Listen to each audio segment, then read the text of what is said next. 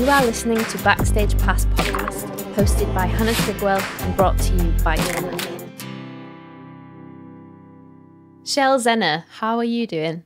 I'm good. How are you, Hannah Trigwell? Good. I'm good. The sun is shining. I'm not in a room that has uh, windows, but um, you you are. I am in a, a room that has a window, although for uh, audio purposes I've closed it. Gotta say, slightly warm. Slightly warm in here today. Right? Yeah, yeah. It should be out in the sun, really. I know. Things to discuss. Yeah, things to talk about, people to see, you know, internet chats to have. So, for those of uh, the listeners and the watchers who don't know you already, tell us a bit about yourself. Oh, I am a music journalist and a radio presenter, producer, blogger, uh, all sorts of different stuff. I have my finger in a lot of different pies. Uh, I work for BBC Introducing in West Yorkshire and Manchester. I also present on XS Manchester and Amazing Radio, uh, where I've been on air for eight years. So basically, I like to hang around in venues, struggling with that right now, um, skulking around and discovering and unearthing unheard of brand new talent and shouting about it everywhere, basically. And what draws you to new talent? I don't know. I guess, right? I thought about this the other day. My parents aren't really music fans. I mean, my mum gets in the car and Really? she, no, no, not at all. Um, they, they don't really go to gigs. They don't really have any records. In fact, my mum gets in the car and she turns the radio off. So I'm not actually sure where I come from uh, in, in relation to that. But I guess because I'm kind of all self taught, like from when I was growing up, the music I got into when I was a teenager and as a youth uh, through to now. And I guess I've never really had that education from my family in terms of music. Hmm. So I guess for me, I always. I just kind of because I self-taught, I just thought it was easier to stick with new because you could it didn't really matter necessarily what had been before. But also Right. I'm obsessed to everything new. I mean, I'll walk through a supermarket and if there is a new brand of biscuits or a new variety of that part, like that bar of chocolate or sauce or whatever, I'm on it. I, want to Wow. try it. I think I'm just drawn inherently to new, shiny things. Maybe I'm a magpie. Maybe that's it. Maybe you were a magpie in a former life. How does that does that make you feel differently about established or older bands, artists, or products in general? I mean, it depends. What do you mean by old? I mean, like a st- like mm, legacy. I play a lot of older music on XS Manchester, and that doesn't, you know, it never gets tired. Like the classics that make you feel good. But I, Yeah, yeah, yeah. I just, you know, music is it's it's like life changing anyway, isn't it? Like a mm. song can transport you to a place, a time in your life.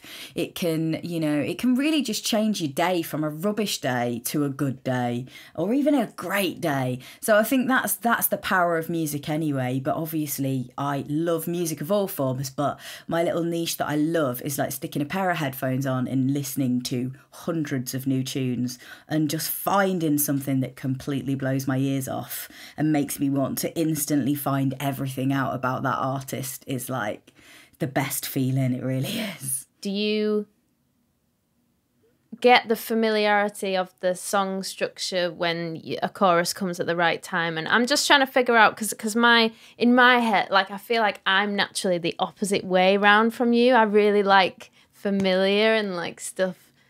New stuff sometimes freaks me out if I don't understand it properly. Most people will go for the familiar. There is a reason that, you know, the music that's on the Radio 2 playlist is the voices that you're used to the Adeles, the Lewis Capaldis, even at the new end of the spectrum. They're very much recognizable voices. I mean, Snow Patrol is the most played song on radio run which everybody knows that song don't they everybody knows it but yeah i just think i don't know i think i um trained in a different way um i've always liked discovering a new artist before they've blown up i've been the one playing arctic Yeah. monkeys out of my broken samsung phone to my friends going you have to hear this band they're amazing uh, before they've blown up i just I love shouting about it. So I don't know. I, I like the familiarity and comfort of, you know, certain albums. I can think back and think Radiohead, The Bends saved my life when I was 18. You know, it really did.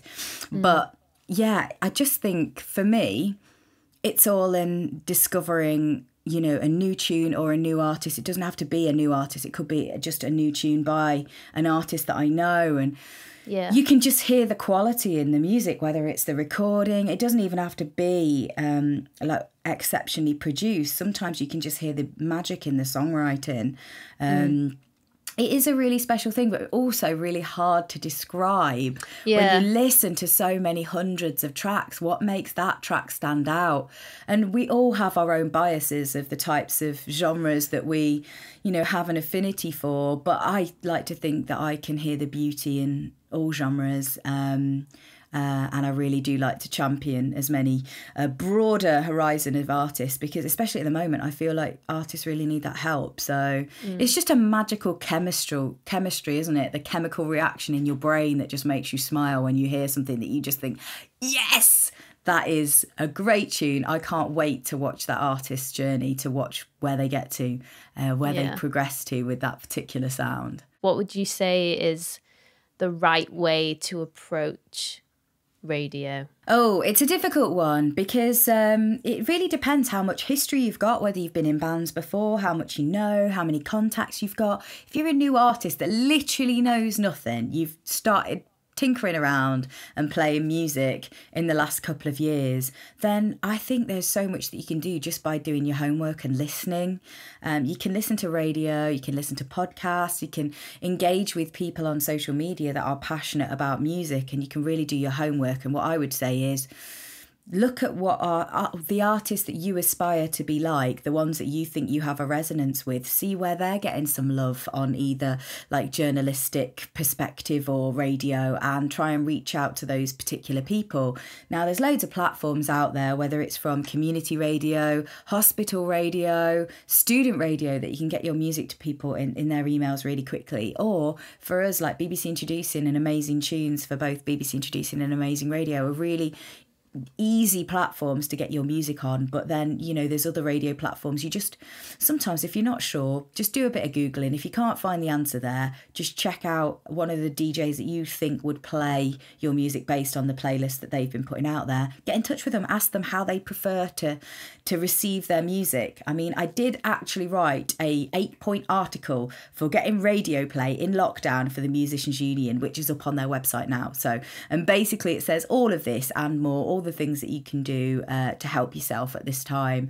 And yeah, I think sometimes just doing a bit of homework around it and seeing where you would fit in um, can actually go a long way. Um, reaching out to the right people is the most important thing uh, to not waste your time and always personalize your contact, whatever you're doing. Don't add loads of attachments that are going to fill people's inboxes, but always really personalize it and say, Oh, listen to your show the other day and you played this person. And if you like them, I think you'll really like what I'm doing. Well, that's going to get a far better reaction to someone like me who gets thousands of emails. I'm going to go, All right, they sound interesting. I might definitely check them out. And then, you know, obviously make sure I've got a link if it's a, for Amazing Radio Airplay. If you send me an Amazing Tunes link, it's going to be brilliant because if I like it, I'll go then add to my playlist and uh, you might end up on the playlist next week. It can happen really quickly. Amazing.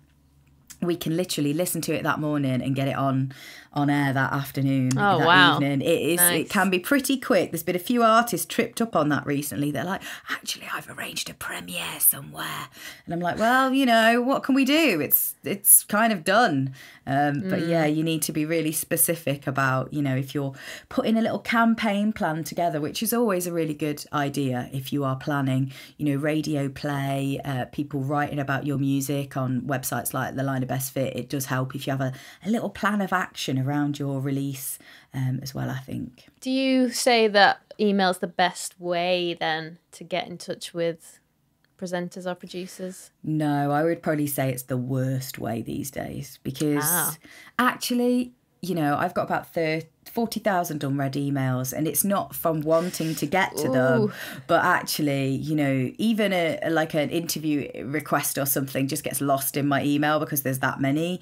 I would Yeah. honestly say for me, I where I get to curate radio, I would say go to the uploaders, put your biogs on those uploads, put all the information there because it's really easy to find it. It's really easy for us to go back and, and dig it out and to share that that information with multiple people. It, the easiest way is on the uploader, and any kind of history and plays will get listed on that as well. So I think social media is a difficult one as well. It's fine to like reach out to somebody and engage with them, or maybe ask them where they prefer to receive receive their music. But just bear in mind if you are messaging somebody who has thousands of followers and who gets a lot of responses, it's really easy for those messages to disappear. So it's almost mm. like I would say uploader kind of with all your biog information and information about your release on the biog followed by email but you know don't necessarily expect a response back if you email and it's not because people are rude but it's just because they're frankly overwhelmed and it's yeah. just got to that stage already where it is just very difficult and very overwhelming mm. to actually you know get through everything so it's if you send the information just be happy that you've sent that information hopefully if the person plays it they've got the information to hand because you've sent it over but yeah make it your subject quite idiot proof or something in your email like if it's uh, yeah. your artist name or something like that or the name of your release or something that could easily be like searched in an email inbox i think there's a, a few smart moves that you could do like that that would maybe help.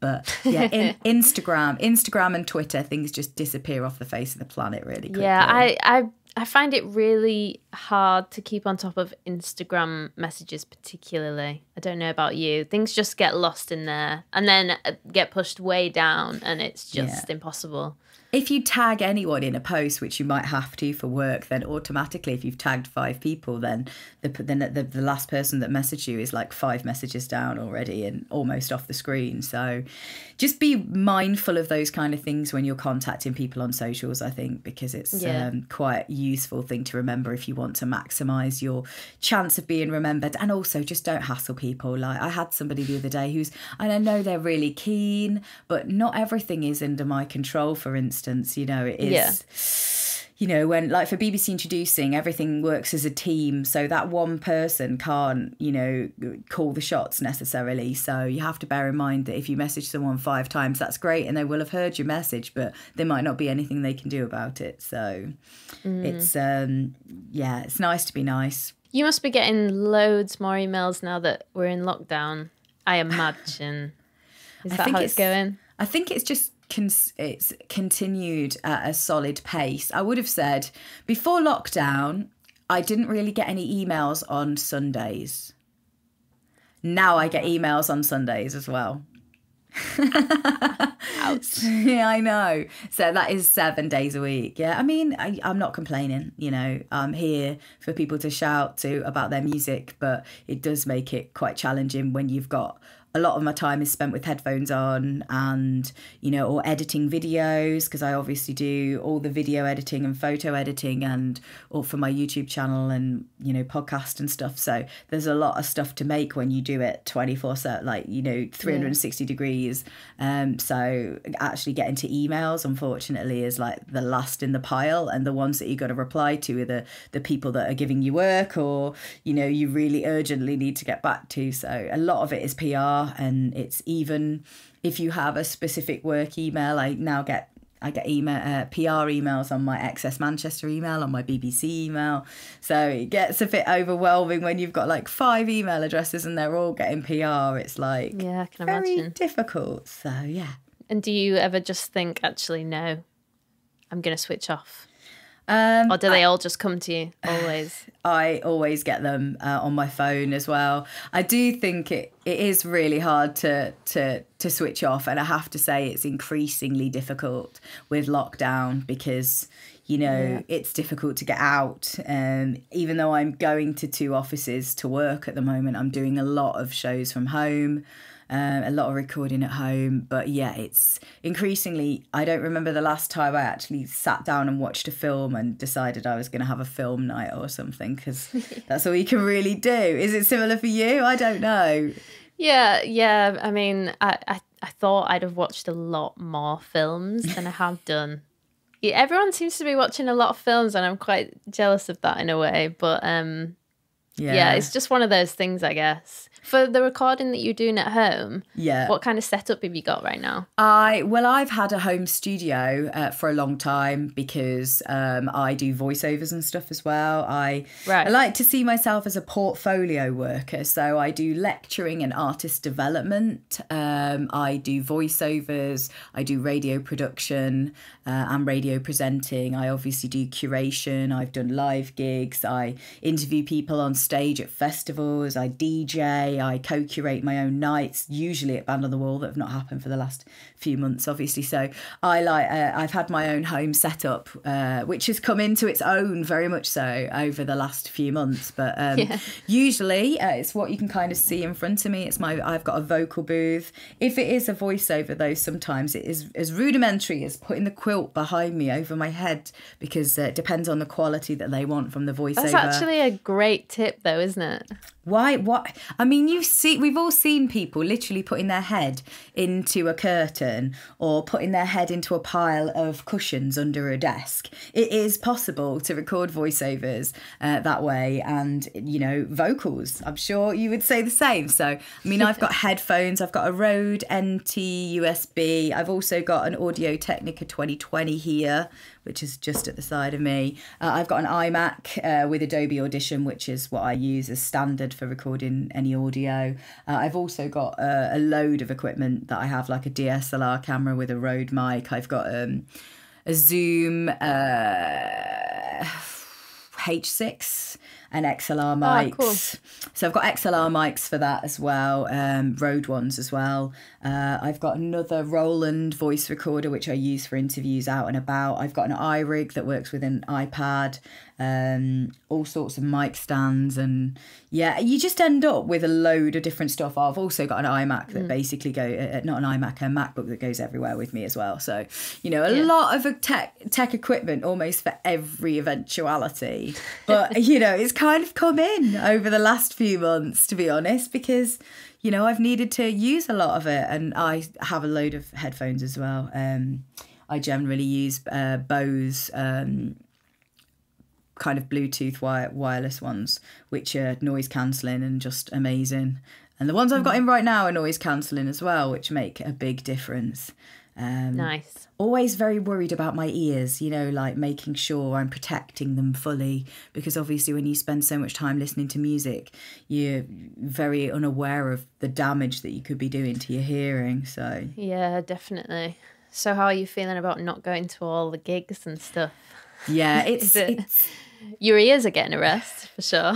I don't know whether they are though. oh, Do you really? know what? It's it's really funny that I've been through spells in my life where I've had so much work that I've not been able to get to enough gigs. I don't know yeah. about you, but it makes me feel really disconnected. It's those conversations you have around the gig with other people in the bands or other mm. artists that are there or, you know, just people that go and see live music. It makes me feel very disconnected, although at the moment it I suppose we're all feeling like that. So, yeah. There's a little bit of comfort in the fact that, well, you're not missing anything because actually it's not really happening, but it's happening online. Yeah. And then the reality is, what are you missing because you can't be watching everything simultaneously? I know you because you are a radio producer and presenter, but I've not seen a lot of you as a music journalist. So, what does that involve? What do you do? with Ooh, music journalism? I have done lots of stuff across the board in terms of reviewing gigs. I have done uh, single reviews in magazines. I used to write for Fly magazine in years gone by. Used to oh, write cool. for Louder Than War. I've written for um, the likes of the 405. So I guess it, it does come part and parcel with what I do because I work for Introducing and Amazing, because I champion new music. I guess part of my job I see is music journalism. But yeah, yeah. I also go and talk to people about portfolio working, which is, and being a music journalist, which is how I got into being so heavily passionate about music and, you know, champion it from multiple platforms. I used to have my own blog. Um, and I do write occasionally for people. Like I said, I wrote for the Musicians Union recently. So I do like to yeah. think, you know, my knowledge is mainly around specialist music from a radio perspective, I guess. you could be doing talk radio, you could be talking about sport, you could be, you know, uh, basically uh, working on an entertainment show that isn't focused on specialist music. So I think if you work in mm. specialist music radio, it's pretty normal to be a music journalist and a radio person. But yeah. it's more about the music, I guess, as as the way into the radio um, for me. How do you even start doing something like that? I mean, do did you just email them and just say, "I go to a load of gigs. I love music. I've written this thing." I think the first couple, yeah, that I went, yeah. you know, the websites that I would read and I would say, well, I really quite like to talk about this band. Could I go to the gig on your behalf and, you know, maybe write you a review? And they'd be like, yeah, cool, we'll sort you some guest list or something. And I was like, brilliant. Wow, this is life changing. Whereas, um, you know, by some of the later opportunities, the Fly magazine, I had a uh, another person had stepped down, so you know the opportunity came available, and I became aware of it. Um, but you know, with other things, it was more like word of mouth, other people reading my reviews or knowing me as a face out and about in town at gigs, and knowing my knowledge and specialism that they asked me to do stuff. So yeah, they weren't all monetized opportunities, you know. Sometimes yeah. I did a lot of work for free and I did community radio for about four or five years I did for free, just honing my skills, learning myself, teaching myself how to sound edit and how to interview people. My first dictaphone was 43 quid off eBay. Um, nice. Yeah, I bought some cheap software and learned how to teach myself to sound edit. You know, I'm literally all self taught. First person I interviewed was the drummer from the Temper Trap.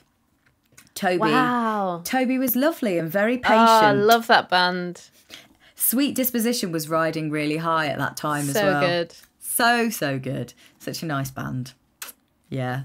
It's mad when Watching. you look back on it and, and think how you've got to where you have. But I guess for me, it's always been, I've never feel like I've really been given like things on a plate. I've always worked really hard for it and built a lot of networking and a, a, lot of relationships. And also by being a good person that's resourceful and can, you know, I can I can do the copy for a voiceover. I can get the tone and I can record it and I can edit it. You know, because I can do 360 with a lot of stuff. It does allow people to think, oh yeah, she's a good person to work with because she can pick things up and she can tailor stuff to whatever we want. And I think that flexibility helps in quite a um, intensely commercial world.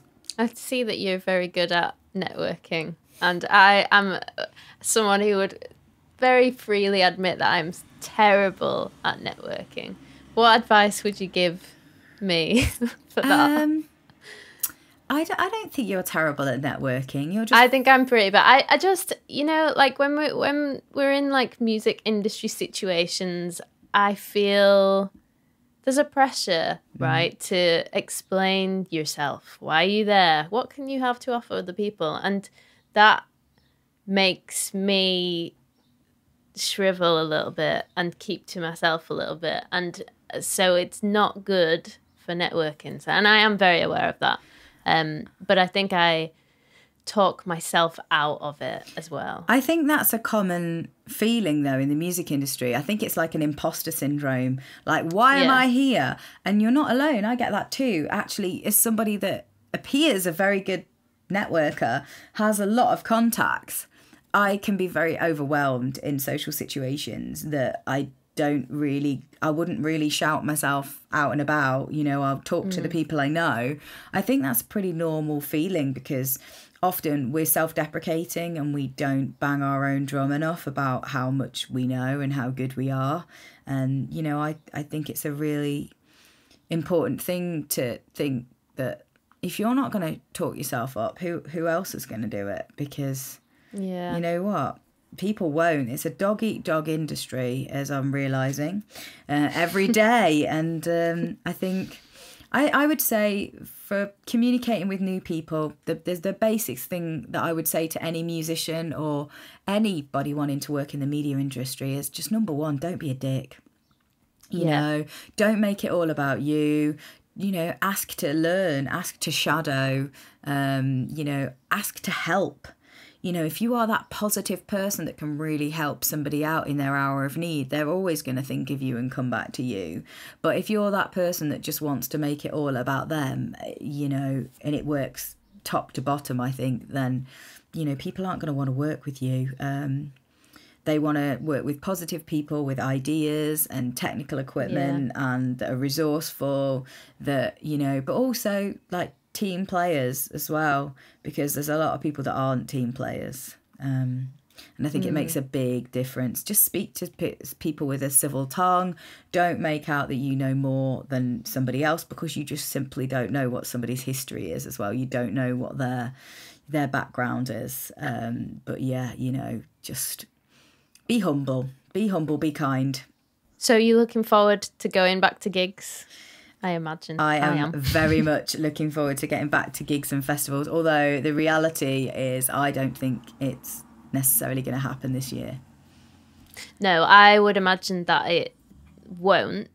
Yeah, I mean, I think I think the reality is, um, even if you do launch and relaunch your tour and set it all up that you know are people going to come? And uh, i've i've read mm. a couple of articles of late i don't know if you've seen the same ones where people are saying the artists need to take shared responsibility and uh, i think that's very scary for a lot of artists. I don't know how you feel about that.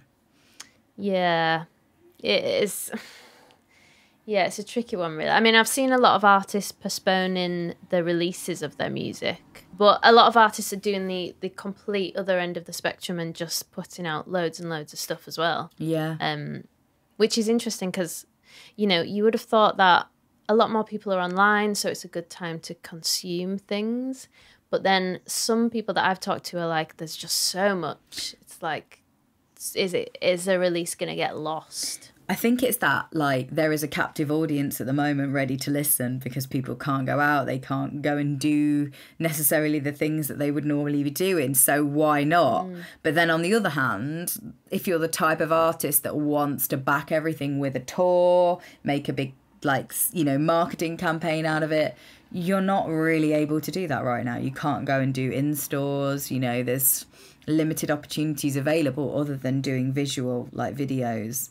Uh, I know a lot of artists making videos right now um, because that's something you can help to push your campaign forward. But but yeah, it's yeah. there's no right or wrong answer, but it, it, it I, I guess it depends on what's important, what's most important to you as an artist, and how that fits in your plan. I guess. So I don't think there's a right or wrong answer, like I say. But in terms of some band or artist that you've seen that has all of their ducks in a row that you think is like smashing it? Ooh. Could you give any examples for the for the viewers or the listeners? Oh wow. Um I just said Porij a minute ago and like yeah. honestly I think that they are incredible and they're effortless. I need to look Porij up. P O I need to look P O R I J what genre is Porij? Oh my god, it's like a bit rave, a bit um disco, yeah. a bit indie. P O R I J. They've only had three songs out. Ah, okay. You can see what I mean though. Their, their identity's quite strong. Yeah, that's cool. That looks really cool actually. I'll have to have a listen to that. I think you'll like it. So what if you're being completely honest, what's your favourite genre of music? Oh, I say if you cut me in half I would bleed post punk. Like yeah, I know that's not what you would expect, maybe when you look at me, but actually, I like harder kind of, yeah. Um, the Idles of this world, the shames of this world, um, yeah, Fontaines, the murder capital, anything like that is just music to my ears, which is mental, really, because I love so much. Um, and, you know, it's, I was dancing in my garden yesterday to prosper you know? I thought that guitar anthem is an absolute tune. So you know because i listen to so much music it can be of any variety but i do have a real resonance with the intensity. Maybe it's like because i live in manchester and joy division uh, from not far from here it's that kind of brooding darkness. Uh, it mm. rains a lot here it looks quite bright today but normally it's quite, can be overcast and a bit dark maybe that yeah. that's all part of it. I don't know, but I, I do love post punk. Um, yeah. Anything you hate? Ooh. Oh wait, my hate's a strong word. Hate is a it? very Anything you- strong word because I have to anything you dislike? I have to really like hear the value in every kind of music, but I have to say Yeah. I do find metal quite challenging. Right. Not Yeah. really my strong point. Everything else, world music of every description. I love Afrobeat. I love indie electronic music, grime, rap, R and B, soul, hip hop. Um, you know, there's so many folk, country, um, you name it. I, I I care about it, but I do. Yeah, metal's a little bit challenging, especially with some of the you know, some of the very raw vocals uh, can be quite, whoa, blow your ears off. And do you ever get people from you know bands and artists that are definitely not the genre of the, let's say the blogs or the site that you're writing for, contacting you and saying, "Can you, can you do a review of this?" I always feel like that's really dangerous, isn't it? I think because I'm more radio now, I don't necessarily get that. Uh, I get more Okay. like, you know, do you fancy playing this? And of course, or, you know, uploading it. And that's fine because obviously, even if I think that isn't my taste, I can hear the value in the songwriting, in the musicianship. Yeah. And, you know, like for BBC Introducing, for instance, we can forward tracks over to Daniel P. Carter's show on Radio 1, uh, The Rock Show. So there are avenues that you Yeah. can send things that you don't think are necessarily. Like on BBC Local, there's a lot of language that we can't necessarily play, where, which you can then forward on to the likes of 1Xtra that 1Xtra might be able to play. So it's Yeah. just almost, you know, you know what makes a good song and you know a good song when you hear it. Um, and you know just making sure it gets the right opportunities by forwarding it to the right channels so That's good that you're even able to do that Yeah. because I feel like sometimes, you know, there must be a lot of artists and bands that send these emails out and even if the person thinks it's good but it's not something that would work for their radio show or their their blog, it must just be parked where it is, I imagine. well i have previously emailed people and said you know it's not really for me it's hard to say that to any Yeah. artist though but but and i would usually word it in a i think this might be liked by this person you know who, Yeah. somebody uh, who i know and recommend probably would appreciate that more than i necessarily i might do so i think sometimes it's just about piecing the jigsaw together for people isn't it so i try and help wherever i can but obviously the inbox is a little bit overwhelmed sometimes Yeah, it sounds like it. 40,000. yeah Ooh. did say i was going to sort that before the end of lockdown but i'm not sure that's going to happen Do you get to a number and you uh, like think, oh, 40,000, okay, cool, that, that's fine. There's no one read. Uh, technically, there's no one read if it's the 40,000, but if it's 40,007, do you ever think about it like that? No. Because I, have done that before and it, oh, it gets out of hand. It- out of hand. It's already out of hand, and I just ex- I think it's the acceptance that it's out of hand, and it's really funny because there's a Radio One presenter uh, called Jaguar who do does a new music. She does a, a new music electronic show every week. It's incredible. If you haven't checked it out, go and go and check it out. It's on Radio One, um, the early hours of. Um, of uh, is it Monday morning? Yeah, about half twelve. Um, and yeah, she's incredible. But she said the other day, like honestly, I listen to the uploader every day. Just don't bother emailing me because I just can't get to it. And I was like, yes. Jaggy is feeling my pain. Um, she is hearing what I'm saying and she gets it because it's just it's just too overwhelming. It's a bit like that in um, WhatsApp group chats as well. You know, for team chats, it's just like too many messages, like so Yeah, many messages, definitely. all a bit overwhelming. Maybe the energy is just better spent trying to create enough content that draws in an audience of your own. Because uh, a lot of people see radio as a quick fix sometimes, especially if you suddenly get a song that really works on radio, and a lot of people are taking it and playing it. And so it's almost like every time you go to a radio plug or every time you message a radio presenter, it's it's like a roll of a dice, like the lottery. And if you get it and it's good and it works, then amazing. And it could happen, and it does happen for people. And someone plays it on the radio, and then somebody else, and somebody else, and somebody else, and it goes crazy. Um, but that's not what happens for the majority of people, is it? No, we'll just put it in context, Hannah. If you had a choice between, I don't know, 100,000 watches of one of your songs on YouTube or a play on Radio 1, What would you choose? Oh. The the the watches on YouTube. Is that because you're kind of biased because you know more about that in terms of what platform that can give you? Probably. Yeah. Or maybe I was too That's generous that's- with a hundred thousand. That's a really hard one because if it was if it's a one-off play on Radio 1 that would be awesome.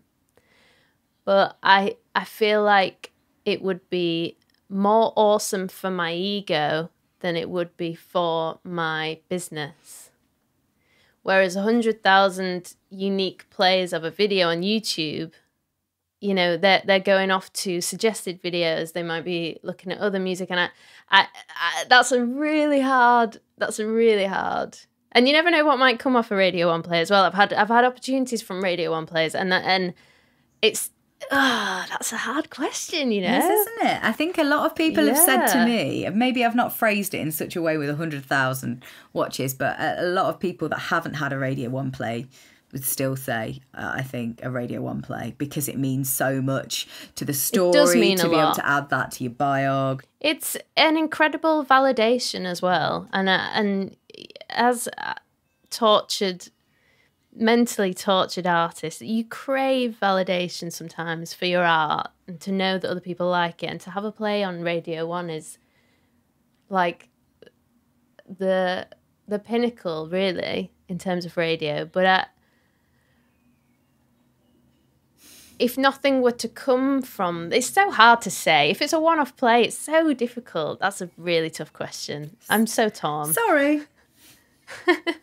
what do you think would be better uh, a, one, a one-off play on radio 1 or 100000 streams on youtube I mean, again, I'm biased, so I'd probably say radio, but you know, I it depends what the the streams and the plays on YouTube would lead to and what stage you are, I suppose, with your your channel on YouTube. It's a it's a crystal ball situation isn't it Yeah. for both outcomes i suppose Depends what you want, like what you want out of it. Whether you want a better, like I suppose the Radio One play will make a difference to your biog more than Yeah. you know the YouTube, but the YouTube might actually get you more followers across your social media, uh, more brand awareness. I I don't you know Mm, it's tricky hard to know, hard to know. tricky question. I have a couple of last questions before we say goodbye. Okay. And the first one is What is your track of the week? Oh, blimey. I haven't even done my listening yet. Do you know what? I'm going to say what I danced to while I was painting my fence yesterday. It's not brand new, but it's only a few months old. Prospa uh, guitar anthem. It's like. It's just the best electronic tune with elements of rave, 90s rave in there. It's just everything you need in a tune. And I could just honestly listen to that song for days. It's so, so good. All the energy. And it's like Nice. the vibe I need right now because you need that, like you were saying about not listening to sad songs. It's that kind of energizing um, electronic music. It's not too heavy on the vocals or anything like that. It's just all about the kind of building the instrumentation. It's just great. It's a proper tune. If it doesn't make you dance around your garden while you're painting your fence, ask for your money back. What a good review. okay, and then my last question is What is your best lesson? The best lesson that you've learned so far in your career? Don't give up. Keep going. Keep learning. You never know what's around the corner. In all walks of life. Yeah. In, a, in any Yeah, situation. Yeah, I mean, I wouldn't say I'm necessarily where I want to be in life. You know, you, you very rarely sit back and think, where do I want to get to and how am I going to get there? But I think sometimes it's worth asking yourself that. But sometimes looking at what you're doing and thinking, I'm still learning, I'm still developing, I'm still the per, I'm, Yeah. I'm still becoming that person. Um, Mm. And, you know, just keep going. Because if you're not in it, you're never going to win it. What a phrase. I know, I know. Thanks so much for speaking to me. It's been awesome Uh, to have you on this podcast. My pleasure, Hannah. Lovely to chat to you. Thanks for tuning in to this episode. Be sure to hit subscribe and leave a comment to let us know what you think. And I will see you next time on Backstage Pass.